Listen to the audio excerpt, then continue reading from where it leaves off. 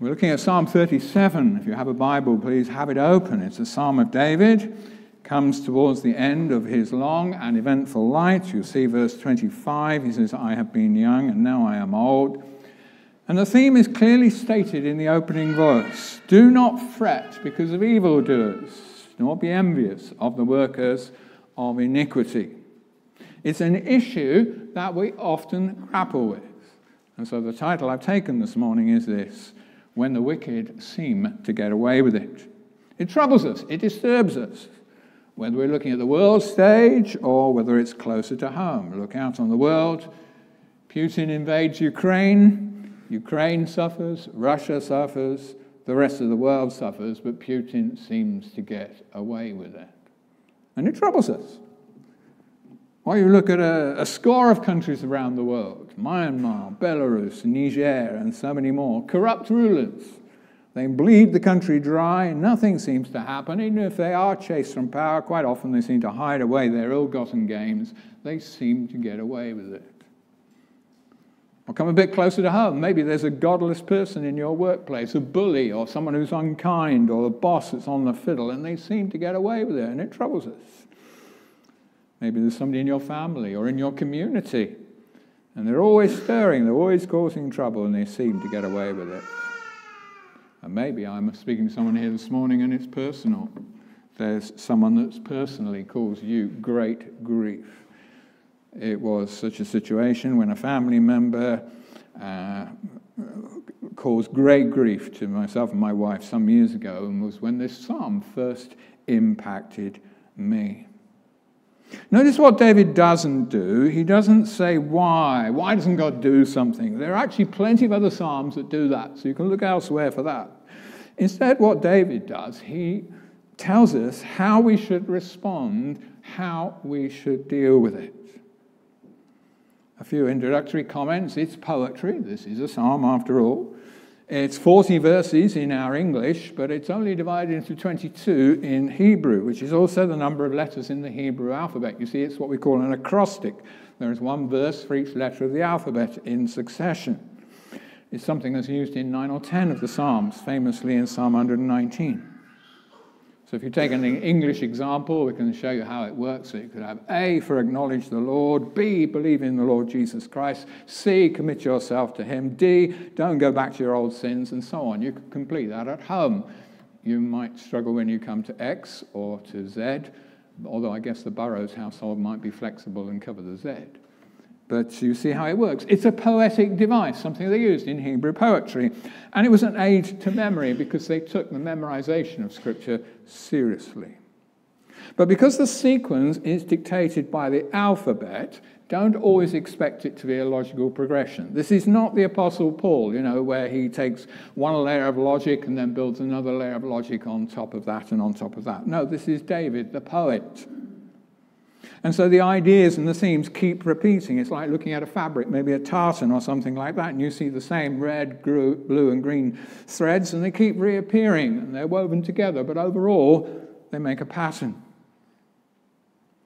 But to help us, I've tried to gather the thoughts that are here under headings to help us uh, keep it in our minds. They're not watertight headings, there's plenty of overlap between them, uh, and there's plenty of repetition through the psalm, so I won't comment on every verse. If I did, did we'd be here a long time. Your dinner would be cold uh, today.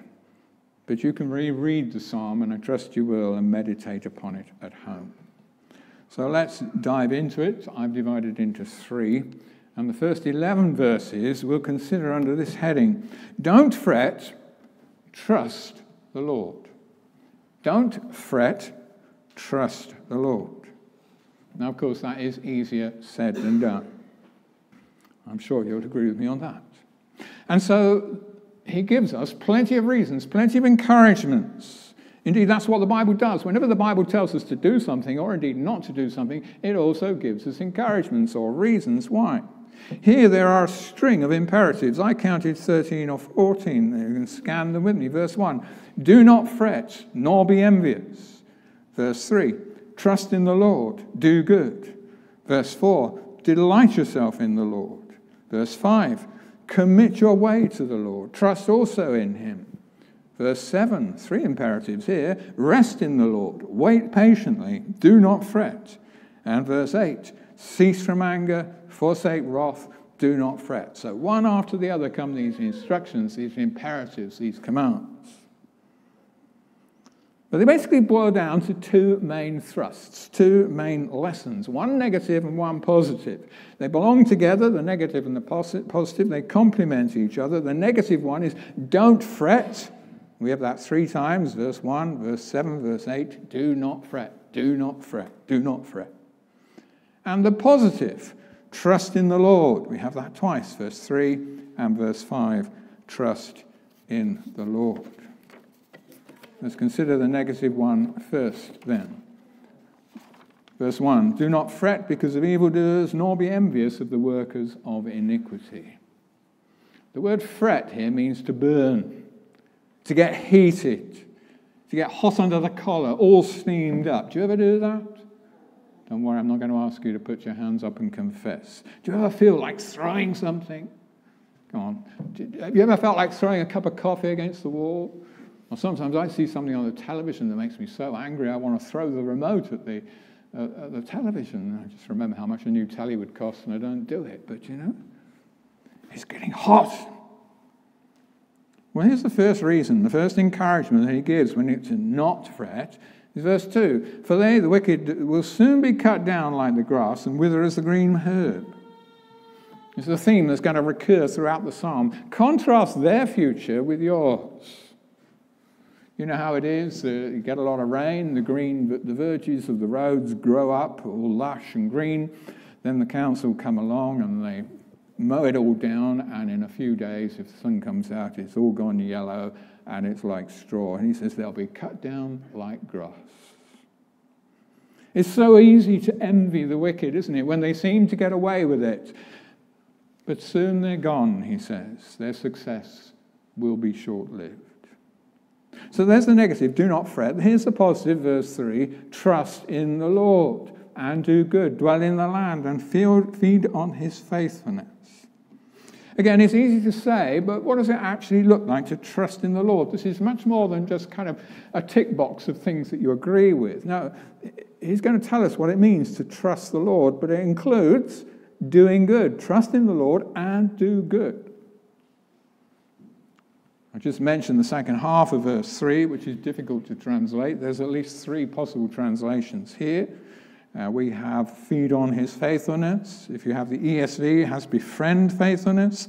The NIV goes in a different direction and says enjoy safe pasture. It seems to me that the sense here is to revel in his faithfulness. Commit yourself to him, trust in him, and revel in his faithfulness. You see, verse 4 commit your way to the Lord. Sorry, verse 4 delight yourself in the Lord, delighting in Him, praising Him, listening to Him. It's the fact that the more we focus our thoughts and our energy on Him, the less we focus our thoughts and our energy on the evildoer, the wicked, the one that seems to be getting away with it. You want an example? Think of Paul and Silas in prison. Were they fretting over a miscarriage, a gross miscarriage of justice? Were they fretting and getting hot under the collar about their brutal and illegal treatment? If they had, we could forgive them for that. But listen, they're singing praises, they're delighting in Him. And if you know Acts 16, you know the amazing outcome of that story delight in him. Verse 5 commit your way to the Lord, trust also in him. The word commit here means to roll your way onto him. So take all your angst, all your burdens, all your situations, and roll them onto him. And remember, the Bible doesn't tell us to do this without giving us encouragement and giving us uh, the reasons why we should and we ought.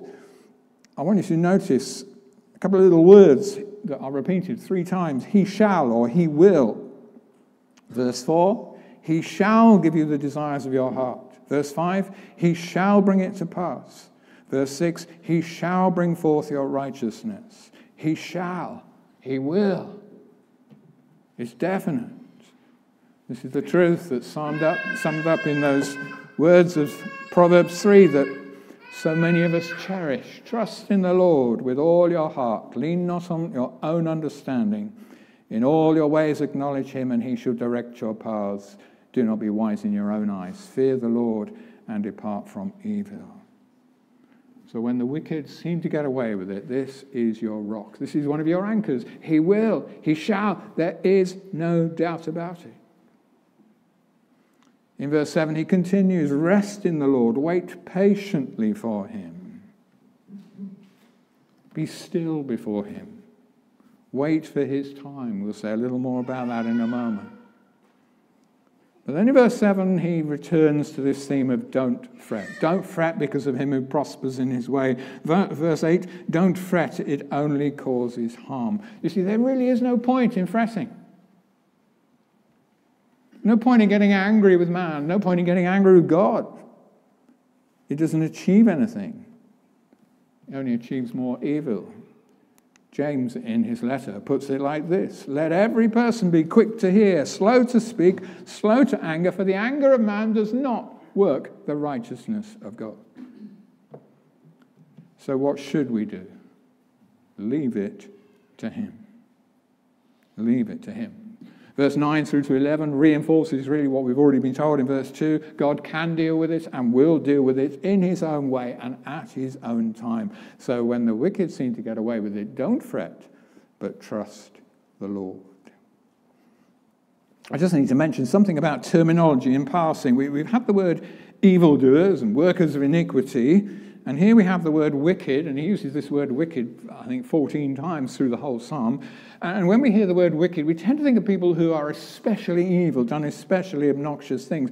But in the Bible, the word wicked is used somewhat differently. It's all those who refuse to put their trust in him. The wicked is all those who refuse to repent of their sin, all those who therefore remain enemies of God. In God's eyes, humanity is divided into two camps. It's not black and white, it's not male and female, it's not rich and poor, but the wicked, those who will not repent and have not believed, and the righteous or his saints. And of course, the righteous doesn't mean the self righteous, those who think they're right, but those who've been declared righteous. They've come to him for forgiveness and they've been declared right. But by nature, we're born wicked. We're in that camp, and something has to happen. We have to move from that camp of the wicked to the camp of the righteous. And the only way we do that is by repenting of sin. Have you repented of your sin? Have you asked for forgiveness? Have you put your trust in the Lord Jesus, the only way? So there's the first part of the psalm, first 11 verses. Don't fret, trust the Lord. The middle section, I've called this, and I borrowed this from my favorite commentator on the Psalms, Derek Kidner, God's often hidden help. First 11 verses covered the first six letters of the Hebrew alphabet. This section covers the next eight letters of the alphabet. And interestingly, there are no imperatives here, no instructions at all.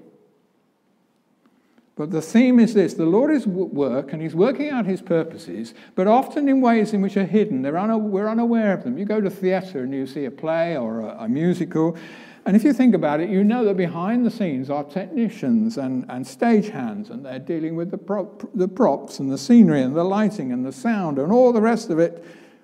But if you met them in the street, you wouldn't recognize them. You see, hidden helps. And we can pick out a number of ways this theme is shown. Here's the first persecuted, yet never forsaken. Verse 12 The wicked plots against the just and gnashes at him with his teeth. The Lord laughs at him, for he sees that his day is coming. See what he's saying? God will have the last laugh. He's got it all under control. This is the message of Psalm 2. It talks about the nations. Why do they rage? And then it says, The kings of the earth set themselves, the rulers take counsel against the Lord and against his anointed, his Christ, and say, Let us break their bombs in pieces, let us cast away their cords. He who sits in the heavens shall laugh. The Lord will hold them in derision. He will have the last laugh. And then it goes on in that psalm to say, I put my king on my holy hill, King Jesus, King Messiah the Christ. Verse 14 The wicked have drawn the sword and bent their bow to cast down the poor and needy, to slay those who are of upright conduct. Their sword shall enter their own heart, and their bows shall be broken. You see how often the persecutor's plotting backfires. How the Lord delights to reverse to turn things on their head. History shows it time and again. Think of the Acts of the Apostles. Stephen is martyred, he's stoned to death. And what happens? Is that the end? No, it's the beginning. Believers are scattered. The gospel spreads faster than a Mediterranean wildfire. And one of the persecutors, Saul, became the church's greatest ever missionary. And all those other persecutors, they were swept away to oblivion when the Romans came calling in AD 70. Bring it closer to our own time, the days of communism in Eastern Europe, behind the Iron Curtain, the persecution of Christians, and yet the church grew faster, stronger, and healthier in those years than any other time. How often the persecutor's plotting backfires. You see, persecuted but never forsaken is one of God's hidden helps. I don't know how it's going to pan out in Ukraine, and I don't suppose anybody else does. One thing we do know, it's not just tough for the average person, it's especially tough for Christian believers in the occupied areas, in Russia itself, in Belarus. But of this I am certain when the tale is told, it will be a story of God's often hidden help, persecuted but not forsaken. Christian brother, Christian sister, we will face opposition. Jesus said, If they hated me, they will hate you also.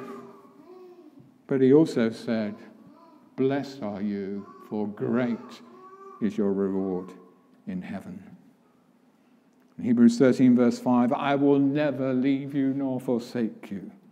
So where you may boldly say, The Lord is my helper, I will not fear. What can man do to me? Persecuted but never forsaken. In the next few verses, having nothing, yet having plenty. Having nothing, yet having plenty. Verse 16. A little that a righteous man has is better than the riches of many wicked. We may be penniless in earthly goods, but in Christ we have riches that the unbeliever can only dream of.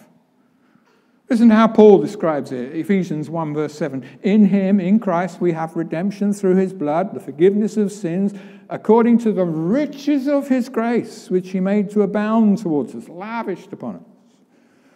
Well, Romans 10, there's no distinction between Jew and Greek. The same Lord is Lord of all, bestowing his riches on all who call upon him.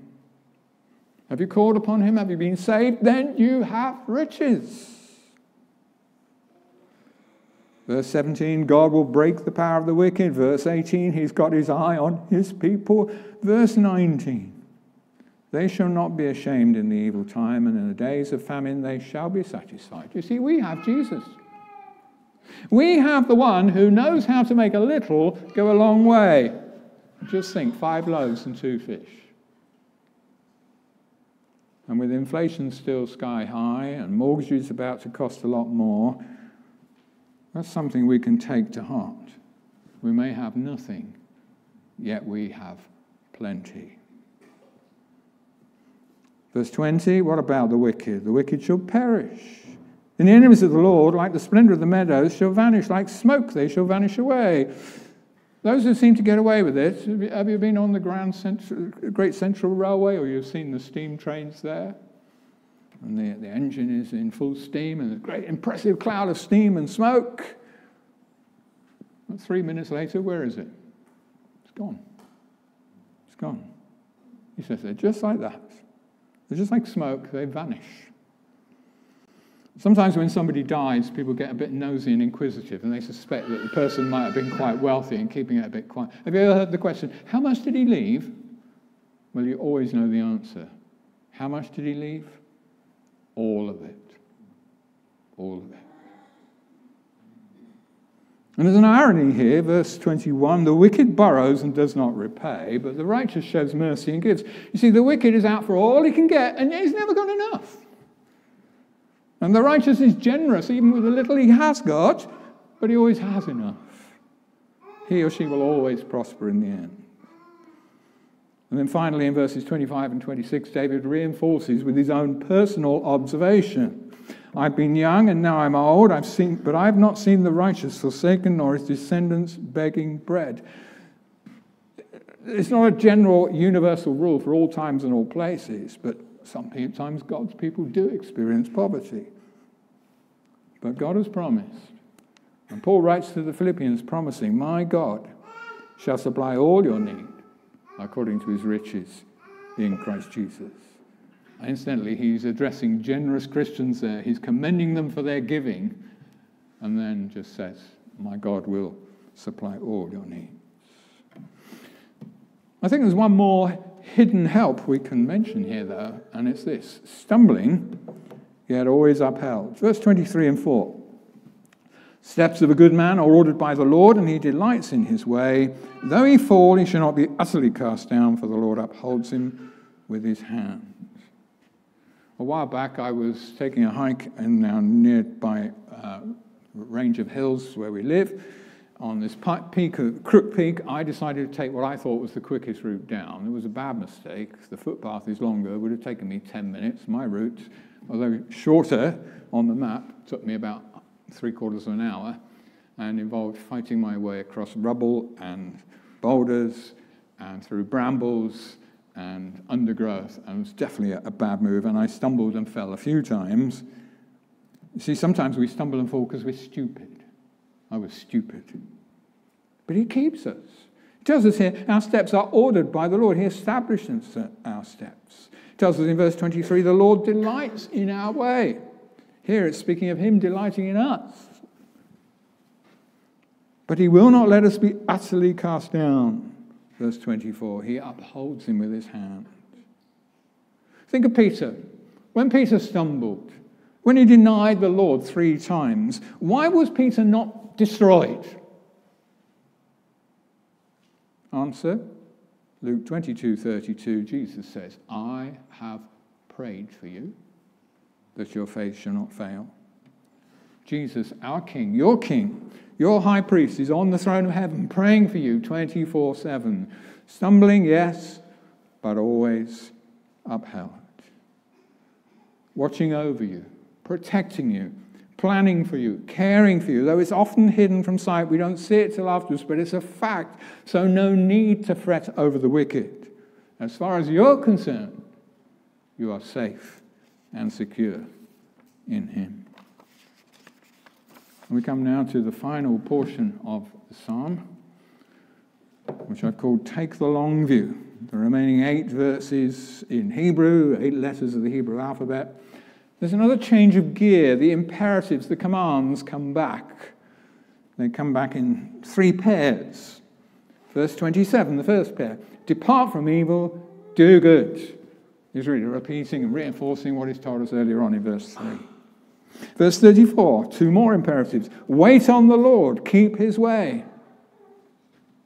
It's uh, repeating and reinforcing something he's told us earlier in, in verse 7. And then in verse 37, another pair of imperatives mark the blameless man and observe the upright. And we'll talk more about that in a moment. So here's one thing that comes back the imperatives return. The other thing that returns is those little words, he shall or he will. There were three earlier on, and there are three more here. Although one, one is slightly disguised. Verse 28, when it says he does not forsake his saints, should really be rendered, he shall not forget, forsake his saints. And then verse 33, the Lord will not leave him. You see, again, persecuted but not forsaken. But then notice this in verse 34 He shall exalt you. He will raise you up. Whatever happens, you have glory in store. And that brings us really to the thing that I think is highlighted and prominent here this point about contrasting destinies, contrasting futures. So take the long view. Don't just look at the here and now, but consider the long view. He's already flagged it up earlier on. In, we go way back to verse 9 for a moment. Those who wait on the Lord shall inherit the earth. In a little while, the wicked shall be no more. You'll look for them, but they shall be no more. Verse 11 The meek shall inherit the earth. Where have I heard that before? Answer Matthew 5, verse 5, Sermon on the Mount. Blessed are the meek, for they shall inherit the earth. Description of a Christian. Crops up again in verse 22, this inheriting the earth. Incidentally, the word earth or land is the same word. Again in verse 29 and verse 34, six times in all. In the Old Testament, the focus was rather on the land, some land to build a house, some land to sow your crops and to sustain your life. But a spiritually minded folk always saw beyond that. They saw something more than that. And if you don't believe me, check out Hebrews 11 at home. Look at Hebrews 11, verses 13 to 16, and you'll see how Abraham and co saw more than just a bit of land in the Middle East. And when it comes to the New Testament, where our eyes are lifted to our inheritance. We will inherit the earth. What do you think of by an inheritance? Maybe you think, ah, I dream of a rich relative leaving me the money and I can pay off my mortgage. Or maybe you're just thinking of your grandmother's wedding ring. Or maybe you're just thinking of your dad's collection shed full of rusty old tools. Whatever your inheritance. Christian, you have an inheritance, and it's infinitely greater than any of those things I mentioned the rusty tools or the mortgage being paid off. This is how Peter describes it. It's worth putting it on the screen to remind us what he says. You've been born again to a living hope through the resurrection of Jesus, to an inheritance that is incorruptible. That means it doesn't perish.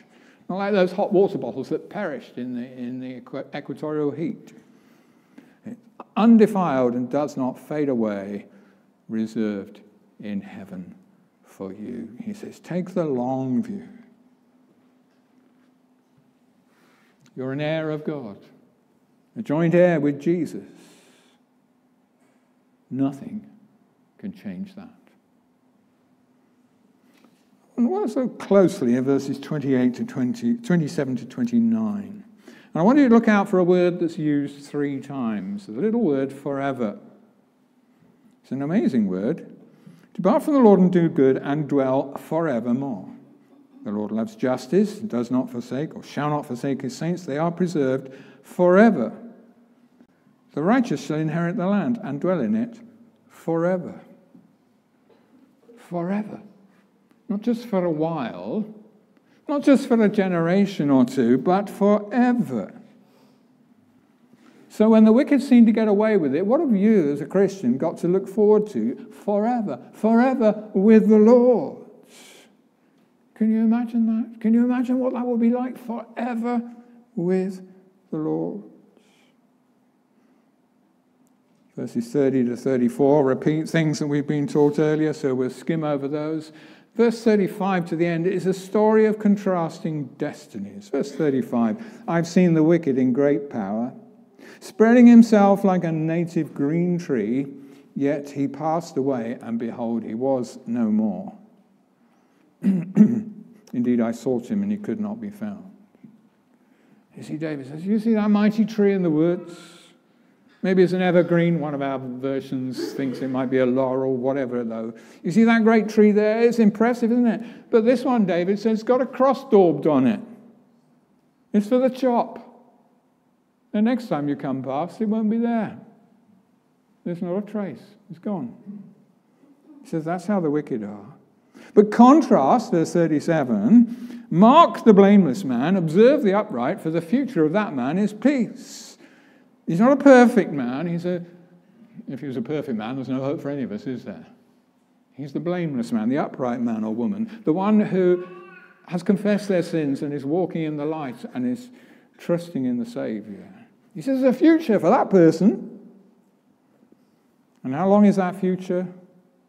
Forever, eternal, without end. So take the long view. There's a contrast that Jesus spoke about quite a bit. Think about what he said about the two destinies, the two ways to live in the Sermon on the Mount. He says there in Matthew 7 24, Whoever hears these sayings of mine and does them, I'll liken him to a wise man who built his house on the rock. But everyone who hears these sayings of mine and does not do them will be like a foolish man who built his house on the sand. And the rain fell, and the floods came, and the winds blew and beat on that house, and it fell, and great was its fall. If you're still in your sins this morning, you will perish with the wicked unless you turn to the Lord, unless you repent, unless you put your trust in Christ. You'll be like that house on the sand. But if you come to Him right now, even this morning, you can be like that, and you will be like that house on the rock. So, when the wicked do seem to get away with it, and they often do, what are we to do? Don't fret. Don't fret. That's difficult, I know, but don't fret. Trust rather in the Lord. And think of God's often hidden helps. How we're persecuted but not forsaken. We have nothing and yet we have plenty. We stumble and yet we're upheld. And take the long view because you have a glorious and eternal future. Friends, brothers and sisters, I commend this psalm to you for your prayerful meditation in the coming day.